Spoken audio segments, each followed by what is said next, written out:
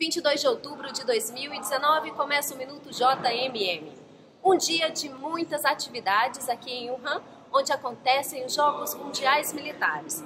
Vou te passar agora um rápido resumo das principais atividades do time militar Brasil. Vamos começar com uma notícia muito boa. Até agora, cinco medalhas de ouro para o nosso país. Uma no arremesso de peso com o sargento Darlan Romani, que não apenas subiu ao pódio, como ele também bateu o recorde dos Jogos Mundiais Militares.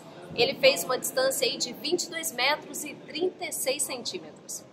A outra medalha de ouro veio na vela, na classe 470, com a dupla Ana e Jason, que venceram com folga as regatas que disputaram.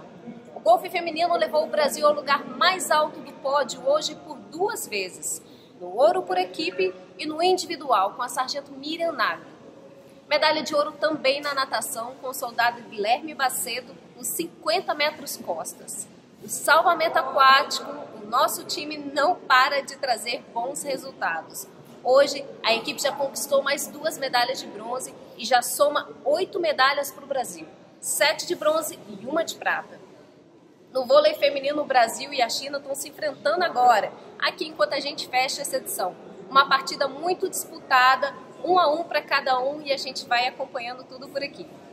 Nessa edição, agora são 8 horas e 44 minutos aqui na China, 9 horas e 44 minutos aí no Brasil. Até o momento a gente segue no terceiro lugar geral no quadro de medalhas, com 35 no total, sendo 8 medalhas de ouro. Continue torcendo pelo time militar Brasil. A gente se vê amanhã. Tchau, tchau.